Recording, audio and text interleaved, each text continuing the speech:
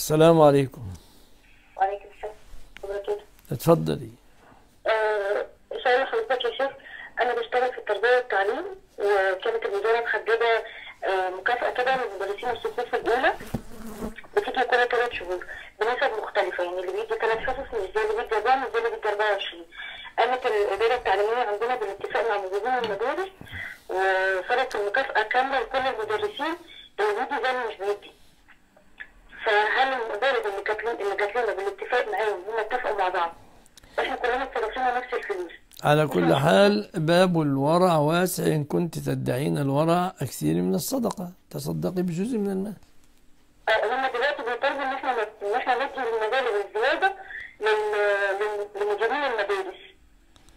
والمدير حياه إحنا دلوقتي إحنا عندنا إحنا عندنا خصومات كتيرة من ال- من لا. الوزاره حقنا يعني. بس آه، مش بنعرف ناخدها طبعا فهل من حقنا ان إحنا نعوض خسارتنا أو الحاجات اللي بتتخصم مننا في المبلغ دوت ولا آه، ان إحنا حرام إن إحنا ناخده؟ إذا إذا كان الذي لكم يقينا لكم وحرمتم منه تجوز المقصة. آه. مع السلامة.